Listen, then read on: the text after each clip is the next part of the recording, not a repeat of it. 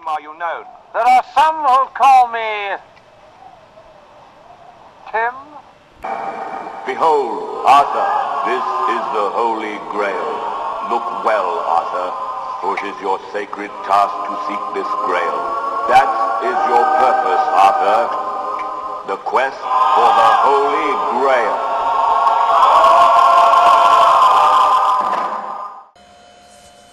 Hello and welcome to what might be the worst DVD update on YouTube. I just got home. Uh, been going to uh, Walmart and the search for the horror Holy Grail, that infamous eight pack. I can't find it. I you know I feel like a bum rummaging through a dumpster, sifting through that five dollar bin in Walmart. I I'm tempted to you know to put my leg over the top and just wallow inside the uh, DVD mediocrity. But I did find a couple of five buck movies. They're more of those um, I don't know buy one movie get eight movies you've never heard of for free deals. First one here is 20 films of Alfred Hitchcock. Sounds great, right? $5 for 20 Hitchcock films. Problem is most of his early stuff. I think a lot of these are probably in the public domain. I don't care. Uh, I'm not going to search out all the Hitchcock films and look for ones that are public domain, download them, and do all that shit. It takes too long. I'd rather have them all in one little location here. Um, uh, on disc one, it has uh, The Lady Vanishes, which is pretty good. I watched that uh, not too long ago. It's uh, really a pro World War II film. It uh, was made in 1938, just as World War II was starting to, uh, I guess, percolate would be a term to use. Um, very much nationalistic, very much pro-English. Um, a really good movie. 1938, it's black and white. The sound quality on these, I, I bet it's going to suck. The picture quality is black and white. I mean, what's the difference? Um, there's a couple of Alfred Hitchcock Presents episodes, which are usually pretty good for TV. Uh, on disc two, uh, The Secret Agent, it's on there. Uh, 39 Steps is supposed to be good. I've never seen that. Uh, disc three, ugh, I've never heard of any of these. They're black and white, all of them, obviously. And a couple, uh, three silent movies. Jamaica Inn might be good. It's got Charles Laughton in it. So I'll, need to check that one out on disc three. I've never even heard of it. Disc four has Sabotage, a 1936 one. Uh, the Man Who Knew Too Much, not the remake, but the 1934 film with Peter Lorre. I've seen clips of that. I've never seen it all the way through. Five bucks. 20 films of Alfred Hitchcock, arguably the greatest director of all time. He's up in the top five or ten. And it, I, I, just open it up and look inside. Man, it, it is really shitastic. look at this. You've got this. Um, I don't know what the hell this is. This is from Mill Creek Entertainment. So what do you expect? They're the, they really churn out the, you know, the shitty transfers and everything. For five bucks, twenty Hitchcock films. I think The Lady Vanishes alone is worth five bucks. That's me. But look at the way it's packaged in here. You've got these ghetto sleeves, right? This is what you would expect someone who did their own CD mixtape to uh, hand out to you. All right, there's uh, one, two, four discs in here. Uh, yeah, it's not packaged well. You're not. Ex- I'm, what I was expecting, I guess, a, a busted Alfred Hitchcock for five dollars or whatever, and you open up his mouth and discs come out. But five bucks. And one more. I haven't even opened it yet. It's a, let me get this in frame here. Four movie marathon, I guess they call it. Four times the terror for five bucks. You've got The Funhouse, a very good Tobe Hooper film. I know a lot of people don't like Tobe Hooper. They think, they think he's a one-hit wonder or some shit. That's horseshit. Tobe Hooper's one of the top, you know, horror directors the last 50 years. Uh, Texas Chainsaw Massacre alone, if you just did that and you said that's a one-hit wonder, that's the first modern horror film every film that's come, you know, basically that's not a slasher, uh, you know, from the mid '70s to present day, is owes its um, its birth to Tobe Hooper's Texas Chainsaw Massacre. And if you watch Hooper films, you know, there's some obvious disappointments. Uh, his work in the '80s wasn't good.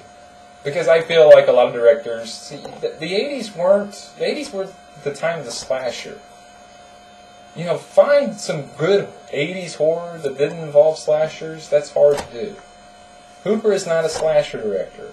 Right? He's more of the torture kind of um, genre, if there's such a thing.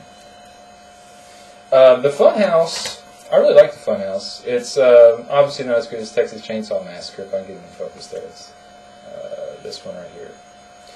Um, it really, uh, it's in a carnival setting, and it's in one of the ways it kills off all those old Universal horror monsters.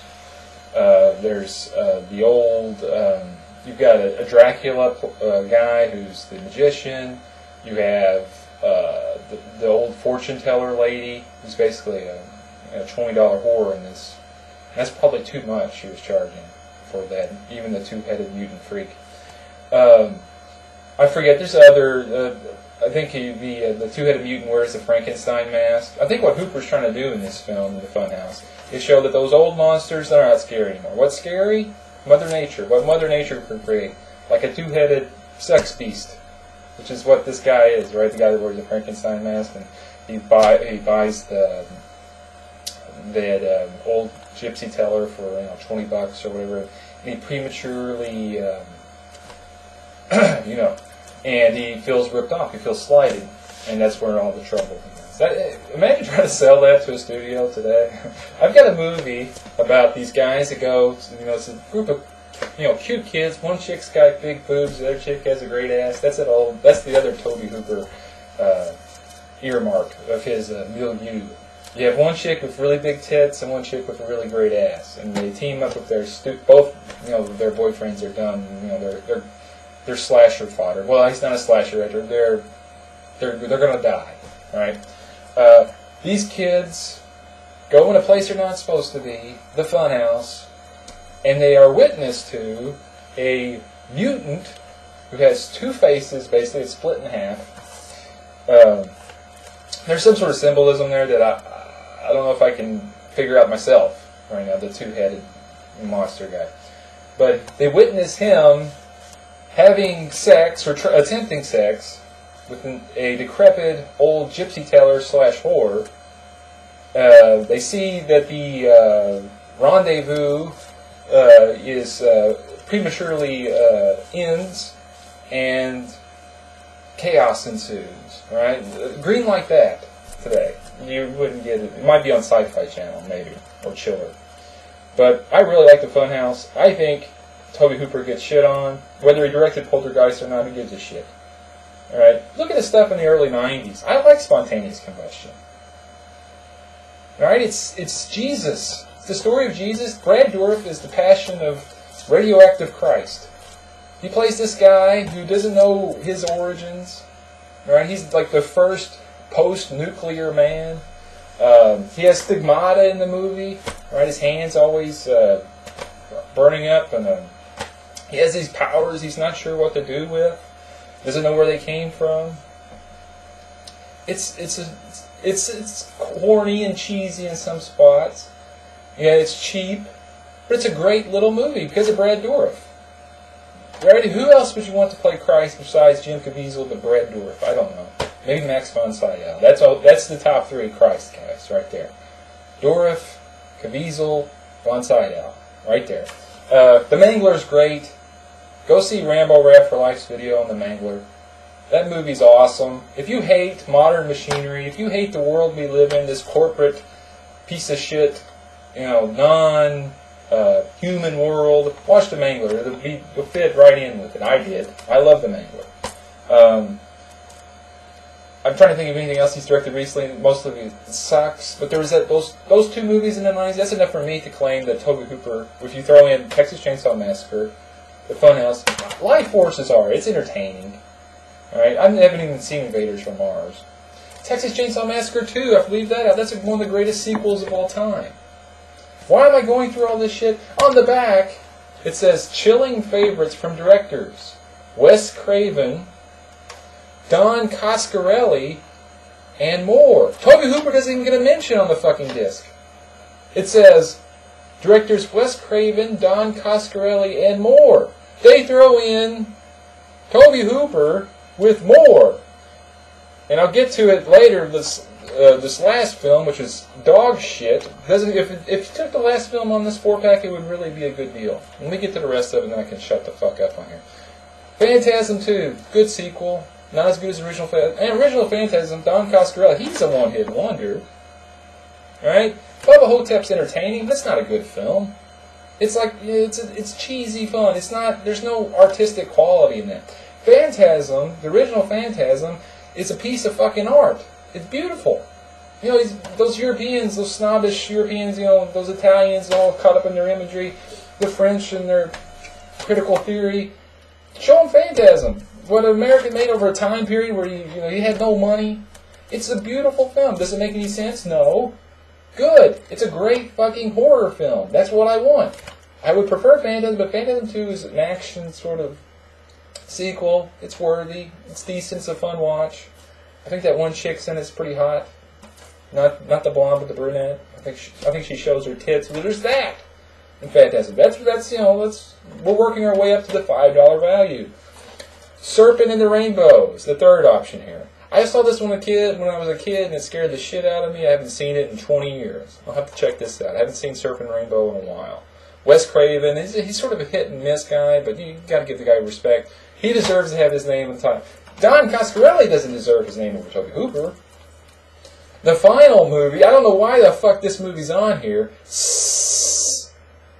Uh, Also, this is, this is how you know the seventies were. You get a, a movie greenlit, and the title's fucking consonants. It's not even a word. It's sis. Zanuck and Brown produced this. It's got Strother Martin in it. You know what we have here is a failure to communicate.